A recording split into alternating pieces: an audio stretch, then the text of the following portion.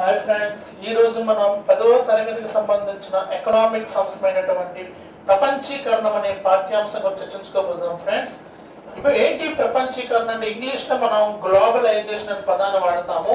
ఇంతకీ ప్రపంచీకరణం అనేది భారతదేశంపై ఏ విధంగా ప్రభావితం చేసిందనే అంశం ఈ పాఠ్యాంశంలో మనం చూడొచ్చు ఫ్రెండ్స్ మనం కానీ ఒకసారి పాఠ్యాంశంలోకి వెళితే ఇక్కడ మీరు ఒక పదాన్ని చూస్తున్నారు. ప్రపంచీకరణం అనే పదము.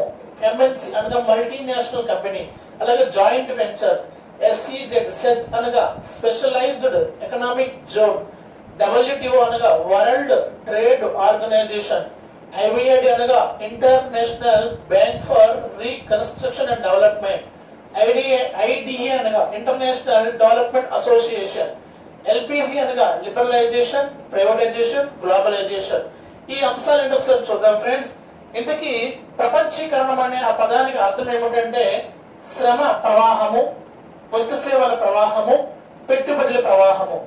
ఒక ప్రాంతం నుంచి ఇంకో ప్రాంతానికి శ్రమ ప్రవాహము. ఒక ప్రాంతం నుంచి ఇంకో ప్రాంతానికి వస్తువులు మరియు సేవల ప్రవాహము. ఒక ప్రాంతం నుంచి ఇంకో ప్రాంతానికి పెట్టుబడుల ప్రవాహము. శ్రమ ప్రవాహము ప్లస్ వస్తువులు సేవల ప్రవాహము ప్లస్ పెట్టుబడుల ప్రవాహము ఇజ్ ఈక్వల్ టు ప్రపంచీకరణంగా మనం చెప్పొచ్చు.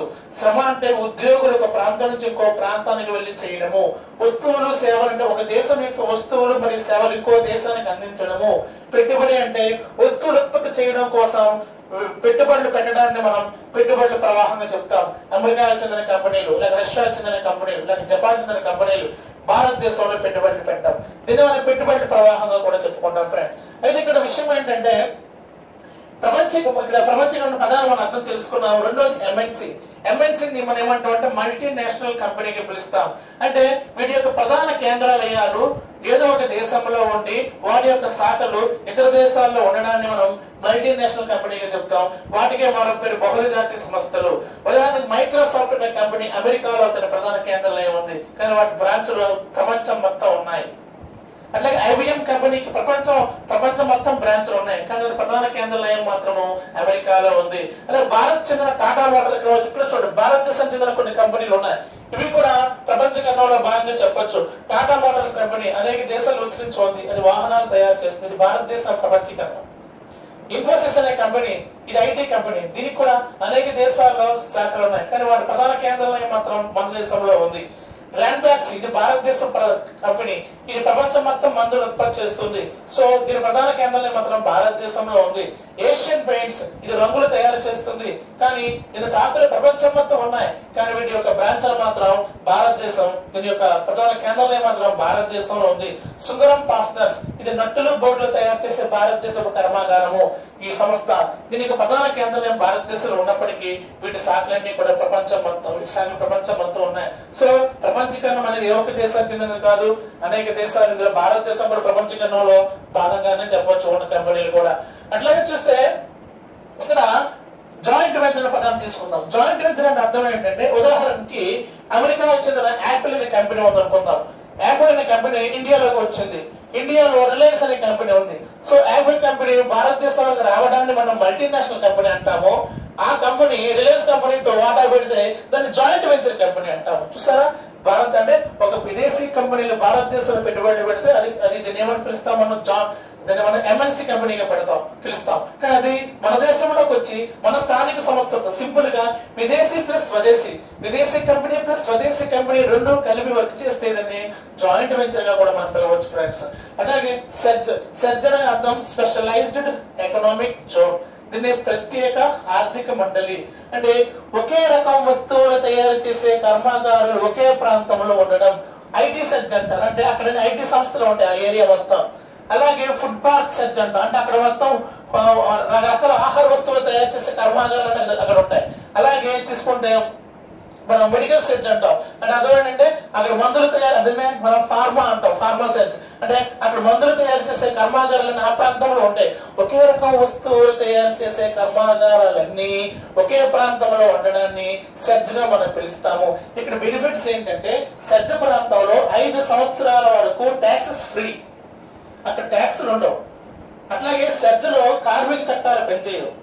అంటే ఇన్ని గంటలే పని చేయాలి? లేదా ఆడవాళ్ళు పని చేయకూడదు రాత్రులు ఆడవాళ్ళు ఉండకూడదు. ఇలాంటి రూల్స్ కూడా సజ్జలో ఉండవు.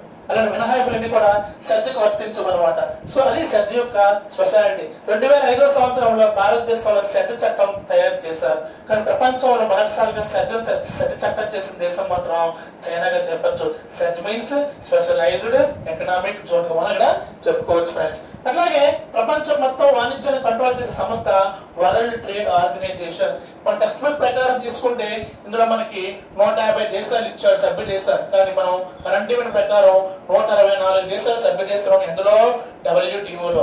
డబ్ల్యూటీఓ మీనింగ్ అర్థమైంది వరల్డ్ ట్రేడ్ ఆర్గనైజేషన్ దాన్ని తెలుగులో మనం ప్రపంచ వాణిజ్య సంస్థ అంటాం. అంటే ప్రపంచం మొత్తం మీద ఉన్న వాణిజ్యాన్ని కంట్రోల్ చేసేది ప్రపంచంలో ఉన్నటువంటి వాణిజ్యంలో ఏమైనా సంఘర్షణ వస్తే దేశాల మధ్య ఎగుమతులు దిగుమతులు సమస్యలు వచ్చినా ఈ వరల్డ్ ట్రేడ్ ఆర్గనైజేషన్ మనకి నియంత్రిస్తుంది. ఫ్రెండ్స్ దీని యొక్క ప్రధాన కేంద్రం జెనీవాలో ఉంది. అట్లాగే ఐబిఐటి ప్లస్ ఐడిఏ ఈ రెండు కలిపి మనం వరల్డ్ బ్యాంక్ అని పిలవాలి. World bank means IBIT plus IDA. ఈ రెండు సంస్థలు కూడా వాషింగ్టన్లో ఉన్నాయి. మన టెక్స్ట్ బుక్ ప్రకారము ఐబిఐడి ఐడి యొక్క సభ్య దేశాలు నూట డెబ్బై చూపించారు. కానీ అవి సుమారు ప్రస్తుతం నూట ఎనభై ఎనిమిది సభ్య దేశాలు ఉన్నాయి. ఇందులో వరల్డ్ బ్యాంక్లో. వరల్డ్ బ్యాంక్ అనే పదానికి మీనింగ్ ఏంటి? ఐబిఆర్డి ప్లస్ ఐడిఏ ఈ రెండు కలిపితే మనం వరల్డ్ బ్యాంక్గా పిలవాలి ఫ్రెండ్స్ అట్లాగే తీసుకుంటే వరల్డ్ బ్యాంక్లో పదహారు శాతం ఓటు విలువ కలిగిన దేశం ఏంటంటే అమెరికా. అలాగే మూడు నుంచి ఆరు శాతం మంది ఓటు కలిగినటువంటి దేశాలు ఏమంటే జపాను జర్మనీ. దీనివల్ల మీకు ఏమర్థమైందంటే ఐబిఆర్డి లేక సారీ ప్రపంచ బ్యాంకులో ఎక్కువ ఓటు విలువ కలిగిన దేశంగా మనం చెప్పొచ్చు. దీన్ని అంటే అమెరికాని మనం చెప్పుకోవచ్చు ఫ్రెండ్స్ అట్లాగే చూస్తే ఇక్కడ ప్ర- కంపెనీలు వస్తువులు ఎలా తయారు చేస్తాం మనకు టెన్త్ క్లాస్ ఒక టేబుల్ ఇచ్చాడు అది ఏమిటంటే డిజైనింగ్. డిజైనింగ్ అనేది ఒక దేశంలో చేసుకుంటారు అంటే డిజైనింగ్ అంటే ఎక్కువ ఏ దేశంలో అయితే టెక్నాలజీ ఉంటుందో? ఆ దేశంలో డిజైనింగ్ జరుగుతుంది. సో ఏదో వస్తువు తయారు చేయడం ఫస్ట్ దశ ఏది? డిజైనింగ్ రెండో దశ విడిభాగాలు తయారు చేయడం. మూడో దశ అసెంబ్లింగ్ నాలుగో దశ అవి అమ్మడం. మన వినియోగదారులకు అందించడం. ఇలా మల్టీనేషనల్ కంపెనీలు నాలుగు దశల ఆధారంగా వస్తువులు తయారు చేయబడతాయి. ఫస్ట్ ఒక వస్తువు డిజైన్ చేస్తారు. డిజైనింగ్ అనేది అమెరికాలో జరుగుతుంది. విడి భాగాలు. అంటే ఎక్కడైతే తక్కువ తక్కువ తక్కువ ధరలకి వస్తువులు తయారు చేయబడతాయో అలాంటి ప్రాంతాలు విడి భాగాలు తయారు చేస్తారు. సో విడి భాగాలు తయారు చేసేది చైనాలో. అట్లాగే అసెంబ్లింగ్. అసెంబ్లింగ్ అంటే ఏంటంటే డిజైనింగ్ విడిభాగాలు రెండూ తయారు చేసే ప్రాంతాలకు దగ్గరగా ఉన్న దేశాల్లో మనకి అసెంబ్లింగ్ జరుగుతుంది. ఎక్కువ ఐరోపా దేశాల్లో మరియు మెక్సికో దేశం. మెక్సికో దేశం అనేది మనకి చూస్తే మనకి అమెరికాకి దగ్గరగా ఉంది కాబట్టి మెక్సికోలో ఏర్పాటు చేశారు. సో ఇక్కడ డిజైనింగ్ చేసిన తర్వాత వస్తువులు విడిభాగాలకు తయారు చేస్తారు. అసెంబ్లింగ్ అంటే ఆ తయారు చేసిన వస్తువులన్నీ బిగి బిగి మనం బిగింపు అంటే కదా దాన్ని అమరిస్తారు అనమాట దాన్ని అసెంబ్లింగ్ అంటాం. అయితే విడి డిజైనింగ్ తర్వాత విడిభాగాలు విడిభాగాలు అసెంబ్లింగ్ ఈ మూడు అయిన తర్వాత వస్తువు తయారైపోతుంది. సో వస్తువును అమ్మాలి. అమ్మాలంటే ముఖ్యంగా ముఖ్య దానికి ఒక రకమైనటువంటి సర్వీస్ సెంటర్స్ కావాలి. అంటే వినియోగదారులకి అందించేలా అలాంటివన్నీ కూడా భారతదేశం చేస్తుంది. ఎందుకంటే భారతదేశంలో ముఖ్యంగా మనకి ఇంగ్లీష్ భాష మాట్లాడేవారు ఎక్కువగా ఉన్నారు కాబట్టి కాల్ సెంటర్స్ ఎక్కువగా ఉన్నాయి కాబట్టి సో వినియోగదారుల సేవలు మనం భారతదేశంలో వాడుకుంటున్నాయి ఎంఎన్సి డిజైనింగ్ అమెరికాలో జరుగుతుంది. విడిభాగాలు చైనాలో తయారు చేస్తారు. అసెంబ్లింగ్ అనేది మెక్సికో మరియు ఐరోపా ఖండంలో జరుగుతుంది. వినియోగదారుల సేవలు అనేది ఎవరి ద్వారా చేస్తారంటే భారతదేశంలో చేస్తారు. సో అట్లాగే తీసుకుంటే మనకి మరొక అంశం చూపించాడు. అది ఏమిటంటే ప్రపంచానికి చెందిన ప్రముఖ మల్టీనేషనల్ కంపెనీ దాని పేరు ఫోర్డ్ కంపెనీ ఈ ఫోర్డ్ కంపెనీ భారతదేశంలోకి నైన్టీన్ నైన్టీ ఫైవ్లో వచ్చింది. నైన్టీన్ నైన్టీ ఫైవ్లో వచ్చిన Ford company Mahindra and Mahindra సంస్థతో జాయింట్ వెంచర్ ప్రారంభించింది. ఇది సుమారు ఫో- ఫోర్డ్ కంపెనీకి ఇరవై ఆరు దేశాల్లో బ్రాంచ్లు ఉన్నాయి. అలాగే Ford company nineteen ninety five వచ్చినప్పుడు భారతదేశంలో పెట్టిన పెట్టుబడి ఎంతో తెలుసా? పదిహేను వందల కోట్ల రూపాయలు పెట్టుబడి పెట్టింది. ఈ కర్మాగారం ఎక్కడ స్థాపించారు? ఫోర్డ్ కంపెనీతో కార్ల కార్ల కంపెనీ అంటే చెన్నైలో స్థాపించారు. ఏ దేశం సహాయంతో ఏ ఏ దేశం చెందినటువంటి సంస్థ అంటే అమెరికాకి చెందిన సంస్థ. దాని పేరు ఫోర్డ్. ఏ కంపెనీ? కార్ల కంపెనీ. ఎవరితో అయిపోయింది భారతదేశంలో అంటే మహీంద్రా అండ్ మహీంద్రాతో. సో ఇది ఏ వెంచర్? మల్టీనేషనల్ కంపెనీ అయినప్పటికీ ఇది జాయింట్ వెంచర్ ప్రాజెక్ట్గా మనం చెప్పచ్చు ఫ్రెండ్స్. చివరిగా మనం చూస్తే అమెరికాలో అంట అమెరికాలో వ్యవసాయ రంగం మీద ఆధారపడే వారికి శాతం వన్ పర్సెంట్ అంటే అది వ్యవసాయం అనేది ఒక శాతం మాత్రం ఉపాధిని కల్పిస్తుంది. కానీ ఒక శాతం వ్యవసాయంలో జీడిపి వాటా వ్యవసాయ వాటా జీరో పాయింట్ ఫైవ్ పర్సెంట్ ఎందుకంత? ఒక శాతం చెందినటువంటి వ్యవసాయదారులు జీడిపిలో జీరో పాయింట్ ఫైవ్ పర్సెంట్ ఎలా వచ్చింది అంటే అక్కడ ఎక్కువ సబ్సిడీలు అందిస్తారు. సబ్సిడీలు ఇవ్వడం వల్ల రైతులు తక్కువ ధరలకి విదేశాలకు వస్తువులు దిగుమతి చేస్తారు. సో మిగతా దేశం వాళ్ళకన్నా అమెరికా దేశం రైతులు తక్కువ ధరలకి అమ్మేస్తారు. సో ఇతర దేశాల రైతులు వీళ్ళు వీళ్ళు తక్కువ ధరలకు అమ్మడం వల్ల మిగతా దేశం రైతుల యొక్క వస్తువులు ఏ దేశం కొనుగోలు చేసే అవకాశం లేదు. సో ఇలా సబ్సిడీలు ఇవ్వడం కూడా నష్టంగానే భావించవచ్చు. సో అమెరికాలో వ్యవసాయదారులకు సబ్సిడీ అనేది ఎక్కువగా దక్కుతుంది. అలాగే చివరిగా తీసుకుంటే భారతదేశంలో ఎల్పిజి. ఎల్పిజి తెలుగులో మనం అచ్చ తెలుగులో ఆర్థిక సరళీకరణ అంటాం. సంక్లిష్టంగా ఉన్న ఉన్న అంశాన్ని సరళీకరణ చేయడమే ఆర్థిక సరళీకరణ.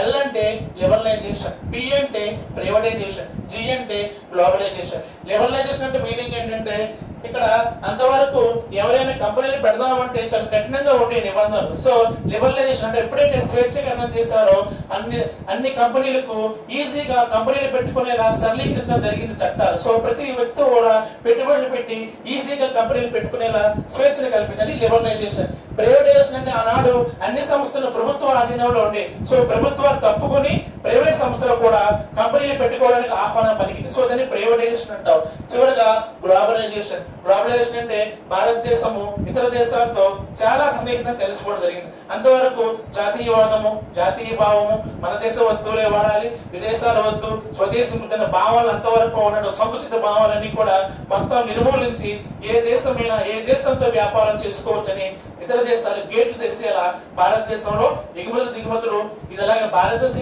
ఇతర ఇతర దేశాలతోనూ ఇతర దేశాల ఎగుమతులు భారతదేశంలోకి స్వేచ్ఛగా వస్తు సేవలు కదిలాయి దాన్ని మనం ఏమని పిలవాలా? గ్లోబలైజేషన్ పిలుస్తాం పిలుస్తాం. దీన్ని నైన్టీన్ నైన్టీ వన్లో మనకి ఆర్థిక సరళీకరణ ప్రారంభించారు.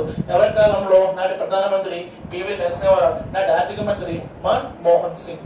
ఇది అలాగే తీసుకుంటే అరబ్ విప్లవం పేరు పెట్టి ఉంటారు. అరబ్ విప్లవం అంటే ఏంటంటే అరబ్ అంటే ముఖ్యంగా ఈజిప్ట్ అనే దేశం అవ్వచ్చు యమాన్ అవ్వచ్చు ఒమాన్ అవ్వచ్చు లిబియా అవ్వచ్చు. అట్లాగే తీసుకుంటే ఆ అల్జీరియా టునీషియా లాంటి దేశాల్లో కూడా ముఖ్యంగా ముస్లిం కంట్రీస్ ఈ దేశాల్లో రాజులు అక్కడ పరిపాలకులు నియంత విధానాన్ని వ్యతిరేకించి అక్కడ ముఖ్యంగా సోషల్ మీడియా ప్రభావం చూపించింది.